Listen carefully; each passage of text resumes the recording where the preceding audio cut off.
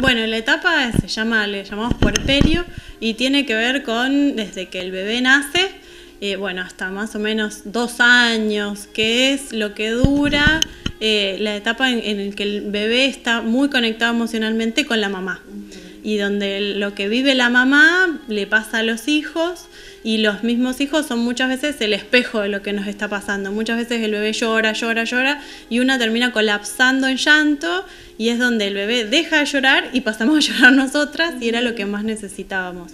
Entonces es la etapa esa, el puerperio es esto, es después de que nace el bebé hasta más o menos los dos años. Sí. ¿Cuáles son esas emociones o esos sentimientos que uno cuando charla con otras mamás son recurrentes a la hora de hablar en de este tema en particular? Sobre todo siempre es la culpa, digamos. La culpa por un montón de cosas, porque no sé si esto está bien, si esto está mal, si cuánto tiempo tengo que pasar con el bebé, si en realidad tengo ganas de irme un rato porque no aguanto más, si eso está bien, eso genera culpa un montón de veces, tengo que volver a trabajar, también me genera culpa, o eh, estoy desatendiendo capaz que a los otros hijos. Hay un montón de cosas que en, los, en el rol de madre muchas veces uno empieza a sentir culpa o porque tengo la casa desordenada o porque en realidad me dedico a ordenar la casa y no me dedico al hijo. Hay un montón de cuestiones que por ahí tienen que ver con estructuras mentales de quién voy a ser como madre, que muchas veces terminan como colapsando con la realidad de que no llega un montón de cuestiones. Y bueno, y ahí es donde empieza la culpa, la tristeza, me deprimo, no sé con quién hablarlo. Muchas veces toda esa parte por ahí un poco más mm, negativa, por así decirlo, de, la maternidad, genera culpa y nadie las dice y por ahí no se animan a hablarlo, a decirlo, porque no está bien, digamos, no está bien visto, como que vos tenés que estar contenta porque tuviste un bebé, porque tenés un hijo, porque estás sano. Eh, entonces no puedes estar mal, tenés que estar feliz. Y en realidad por ahí hay un montón de cuestiones, y más todavía se suma lo hormonal, que se está acomodando el cuerpo después de haber tenido a tu bebé, se vuelve todo a su lugar y suma lo hormonal también. Entonces hay momentos en los que uno no sabe con quién hablar y bueno, es la idea de generar espacios nuevos para, para hablar como en círculo con otras mamás. Exacto. Em, eh, ¿Influye mucho esto de, de, la concepción que tenemos de ser madres, de lo que heredamos de nuestras madres, de nuestras abuelas? Que por ahí también en las nuevas generaciones hay miradas que van cambiando sobre esto, ¿no? Sí, la idea que uno fue como heredando, ya sea de la abuela y de la abuela pasó a la madre y de la madre ahí fue donde lo vimos eh, influye un montón, porque por ahí uno viendo a lo que era la madre es el ejemplo de lo que ellas hicieron y es lo que por ahí se espera de una como mamá, bueno, yo ahora eh, capaz que, o, o, a veces hasta, bueno, mi mamá hizo tal cosa, no me gustó, quiero hacer totalmente lo contrario, pero sigue siendo una base, digamos, la madre de una, de lo que quiero hacer y de lo que no quiero hacer. Pero uno se va estructurando a partir de lo que vio con su propia madre y con su abuela también. Sí, muchas cosas se heredan, de maneras de ser o de, de, hacer las cosas, de lo que se debe, de lo que se espera. Y a nivel cultural, hoy también hay mucho de que, bueno, no, hay que tenerlo más a UPA o hay que, no sé, hay que ponerlo en la cama eh, porque es, como brindarle más amor y en realidad yo no quiero, la otra sí. Eh, hay muchas como teorías encontradas y donde una a veces termina como muy aturdida también. Pero vive de la misma manera esta etapa del puerperio la, la mamá que es primeriza, la mamá que ya tiene, eh, digamos, varios hijos. Y es, es distinto, porque cuando es el primer hijo es toda la atención a uno solo.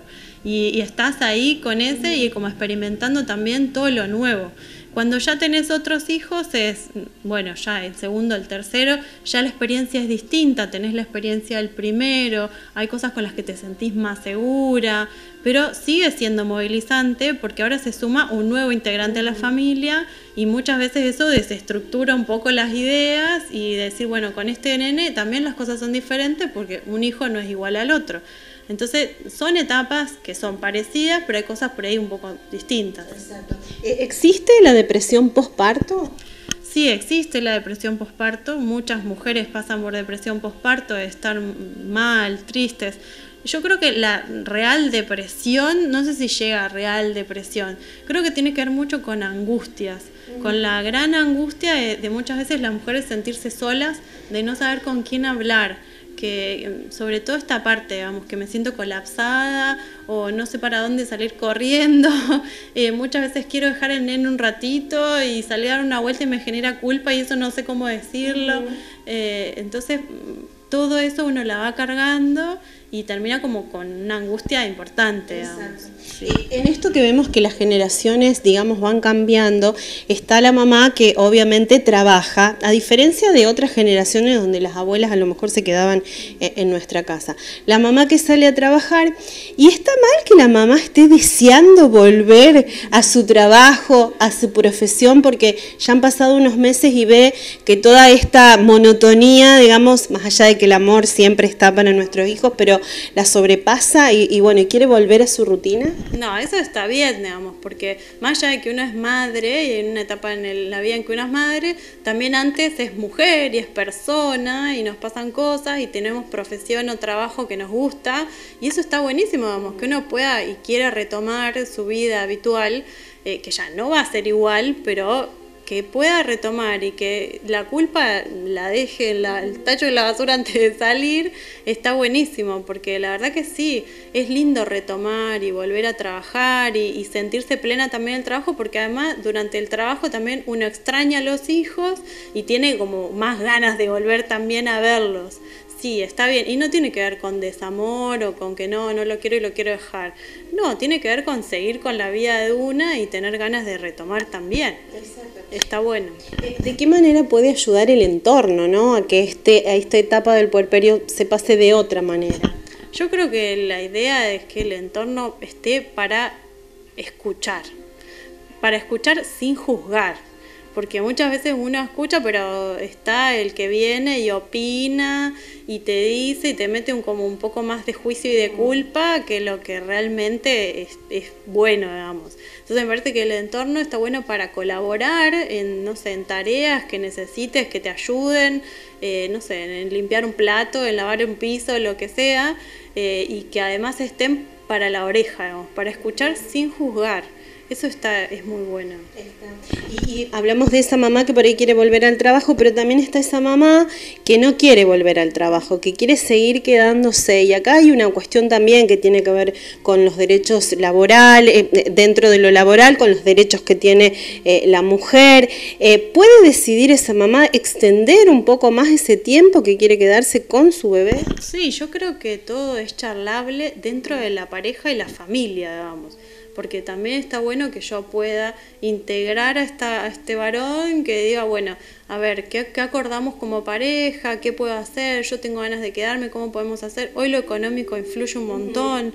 Entonces, el poder ver y buscarle la vuelta para decir, bueno, si yo deseo realmente, y es como pareja o como familia, decimos, bueno, no, es preferible que mamá se quede y que, bueno, papá se vaya a trabajar, como sea, eh, también está bueno charlarlo, hablarlo, ver, ver qué posibilidades hay dentro del trabajo, de poder extender un poco más. Eh, sí, todo yo creo que es dialogable. Cuando ya dentro del trabajo no podés, bueno, eh, lo hablamos en pareja y como familia, a ver cuáles van a ser los nuevos planes. Sí. Eh, Evangelina, para finalizar, sabemos, y vos lo dijiste durante la nota, que nada mejor que sentarse con otras mujeres a charlar de estas cosas o con otras personas que han pasado por la misma experiencia.